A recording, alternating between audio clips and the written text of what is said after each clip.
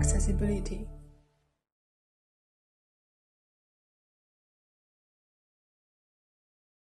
In this part, we talk about outdoor accessibility.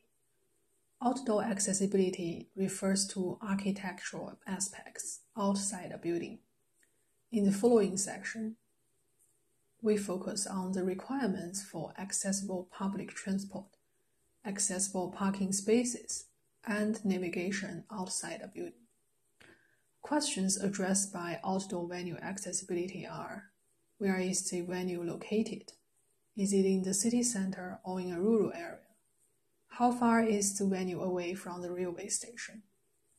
Where is the nearest bus stop? Public transport is a popular means to get around, also for disabled people. Therefore, your venue should be easily reachable by public transport. It is a good idea to do some research and include information about public transport stations near your venue in your communication. You might even have the opportunity to ask your local authority to put in a new bus stop nearby. If people arrive with, your, with their own vehicles, the accessible parking space should be reserved for people with disability. However, the available space reserved for disabled parking usually should not exceed a certain total number of parking spaces. In addition, people who use this parking space need to meet certain requirements. In Belgium, for example, they are reserved for people who have a so-called blue card.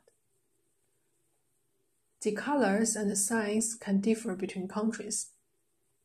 In Belgium, Accessible parking spaces are only designated in blue and white.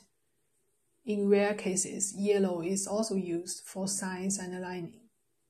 These spaces must be located on the shortest accessible route of travel to an entrance.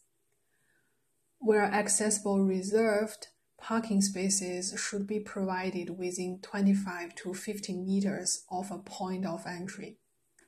The designated parking space need to have a dimensions that allow a wheelchair user to get easily in and out of the car. A disabled parking space must be clearly signposted. Usually they are marked out on the ground and the international symbol of access sign is used.